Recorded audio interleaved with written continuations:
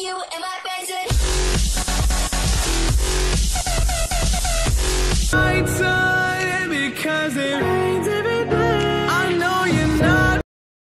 Olá pessoal, pessoas lindas do meu canal, tudo bem com vocês? Espero que sim, tá gente?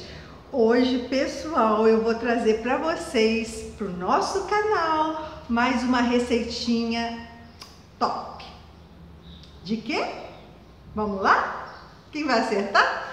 Então gente, eu trouxe nessa época assim de verão, né? Visitinha em casa, criança em casa, fomezinha toda hora, né, gente? Toda hora dá vontade de comer uma coisinha diferente.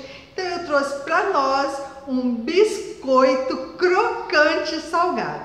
Jaqueline, é, gente, com uma massa de biscoito, você pode fazer vários recheios, tá? Você pode dividir a massa e fazer eu vou fazer aqui em casa agora pra gente um biscoito de queijo parmesão. Mas você pode fazer com cebola desidratada, alho desidratado, ervas finas, orégano. O que a sua imaginação te levar a fazer, você faz, tá bom? Então eu vou ensinar para vocês como que eu faço o meu e a partir desse, ó, vocês, ó, viajam, viajam nos recheios, tá bom, pessoal? Então, bora lá, pessoal, conferir esses ingredientes. Mas não esquecendo de deixar o seu joinha agora no início de, do vídeo para você não esquecer no final, tá bom, pessoal? O seu joinha é muito importante para mim, tá? Então eu conto com vocês, pessoal. Bora lá ver esses ingredientes.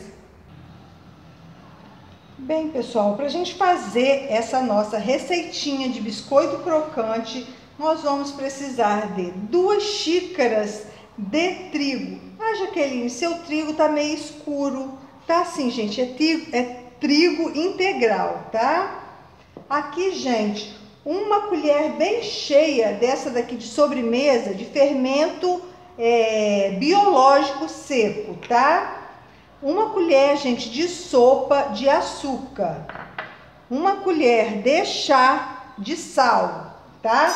Uma colher Aqui tem bem cheia de banha, mas se você tiver em casa gordura vegetal, você pode usar também. 50 ml de leite e 100 ml de água. Então agora, pessoal, nós vamos começar a fazer o nosso biscoito.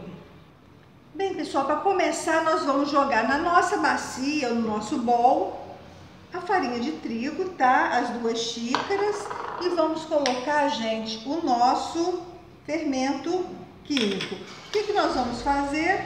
Nós vamos agora, gente, misturar esses dois, tá? Dar uma misturadinha nesse produtinho seco aqui para ficar bem misturadinho, tá vendo? Aí, pessoal, nós vamos colocar o nosso açúcar, tá? O nosso sal e vamos dar mais uma misturada. Ó, misturado, pessoal, nós vamos adicionar a nossa banha, gente. E vamos fazer o quê? Vamos manusear ela na mão agora, tá? Agora a gente vai usar as mãos. Ó. A gente vai rodando assim, ó. Tá vendo? E agora, pessoal, nós vamos colocar, ó, o nosso leite aos poucos, tá? Vamos adicionando aos poucos até ficar uma massa, aquela massinha, tipo uma massinha de pão, né, pessoal? Então agora nós vamos jogar nosso leite gelado, tá, gente? É água gelada e o leite gelado, tá? Então agora, ó, pessoal, joguei o leite, vamos começar com a água. Ó, a gente vai adicionando aos poucos, ó, e mexendo. Assim que essa massinha estiver pronta, eu volto. Pessoal, nossa massinha pronta. Pessoal, não usei os 100 ml de água. Faltou só um pouquinho para acabar, mas eu não usei, tá? Então, olha, pessoal, a nossa massinha aqui, ó, ó, prontinha, tá? Agora, pessoal, nós vamos, colocar um pouquinho de farinha aqui na bancada nós vamos dar uma sovadinha nela, né? Ó. Ó, a gente dá uma sovadinha na massa. Gente, a massa fica perfeita, tá? Perfeita. Maravilhosa de se manusear, hein? Muito boa. Então, o que, que nós vamos fazer agora, pessoal? Ó, damos mais uma sovadinha nela. Ó, pessoal, a gente divide essa massa em duas, tá? Que você quiser fazer dois tipos de recheio. Se você for fazer um tipo de recheio só, você divide, só faz uma massa, tá? Então a gente pega, ó, dá mais uma. Quanto mais você sovar, melhor vai ficar a sua massa, tá? Então a gente vai sovando, sovar mais um pouquinho e vamos, pessoal. Agora, é deixar essa massa aqui, ó, descansar mais ou menos uns 10 minutos. Você pode colocar um plástico nela, tá?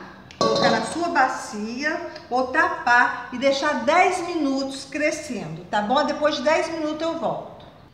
E pessoal, já ficou os 10 minutinhos. Agora, ó, vou pegar uma massa, estão vendo, ó, pessoal? Quanto mais você sovar, melhor ela fica, tá? Então, ó, o que, que nós vamos fazer agora?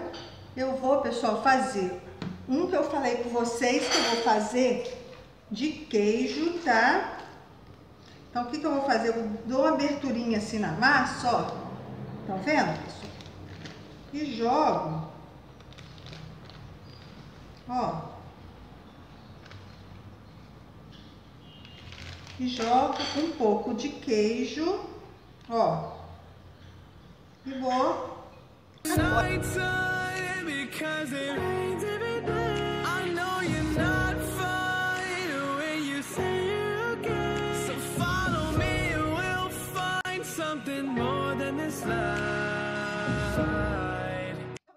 Aqui agora descansar por 15 minutos, tá? E agora eu vou abrir a nossa outra massinha.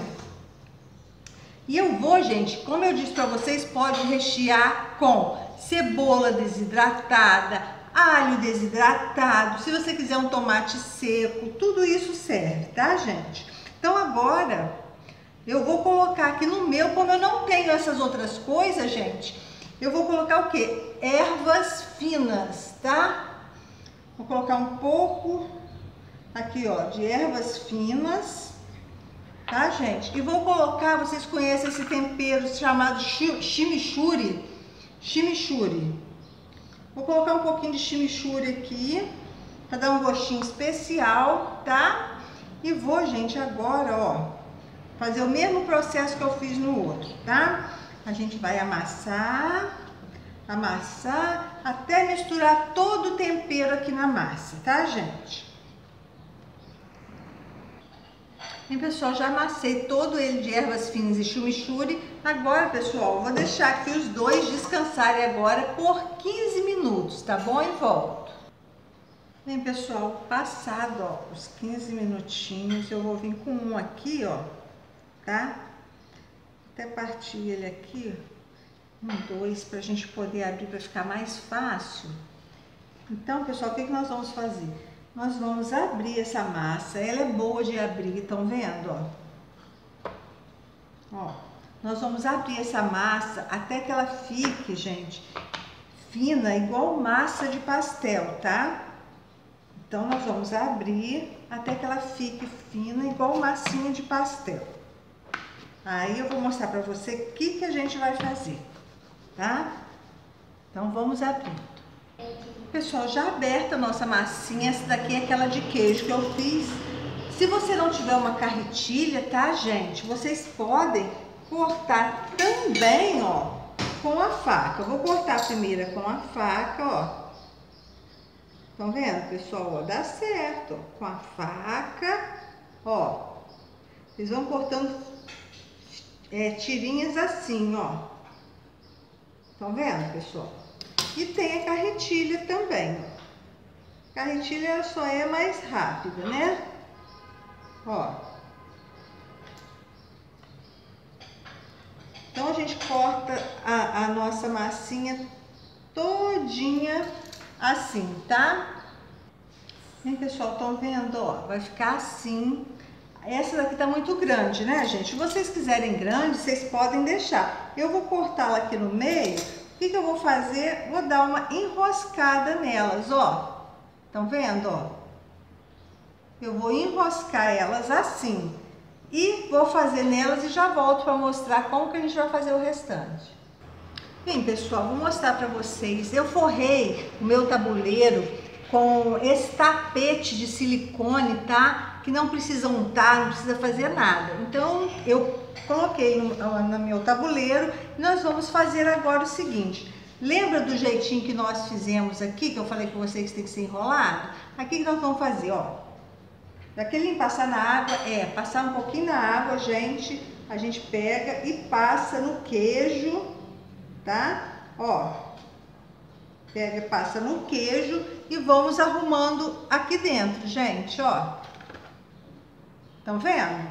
Então, a gente vai fazer isso aqui em todas elas, vamos passar aqui no queijo, ó. Ó, a gente passa no queijo e vamos arrumando no nosso tabuleiro, tá bom, gente? Assim que eu terminar, eu volto com vocês.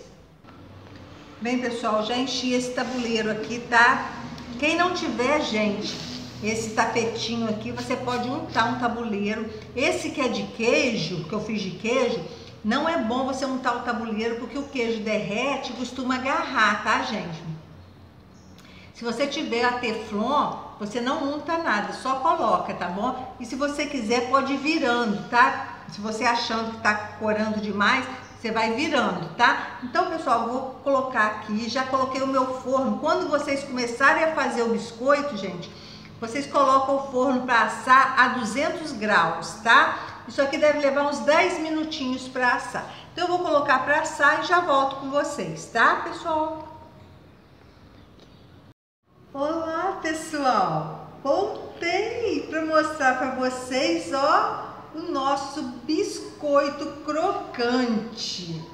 Como eu, most... Como eu falei para vocês, ó, aqui tá misturado os dois biscoitos, o de queijo e o de queijo com chimichurri. Eu acabei passando, gente, o segundo, que nós colocamos ervas finas e chimichurri, eu coloquei, gente, para passar o nosso biscoito, eu coloquei queijo ralado e coloquei um bocado de chimichurri, misturei o queijo no chimichurri e passei em todo o nosso biscoito. Vocês estão vendo que coisa linda que ficou?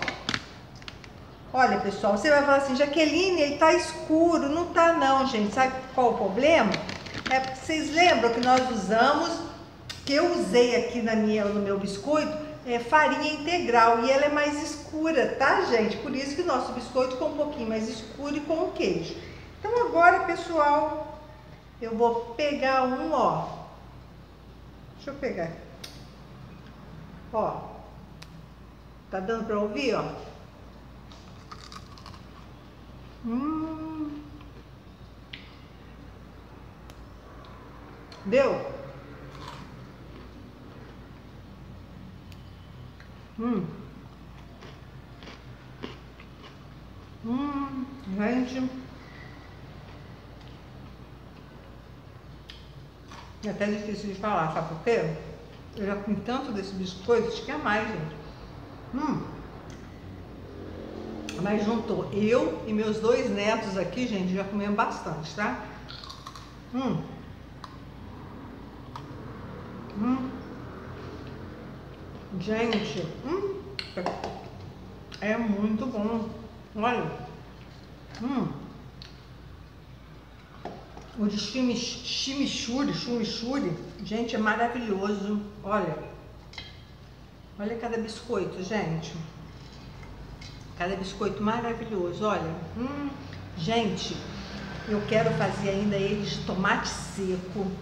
Deve ficar muito gostoso de tomate seco, com cebola desidratada, alho desidratado. Gente, deve ficar uma delícia.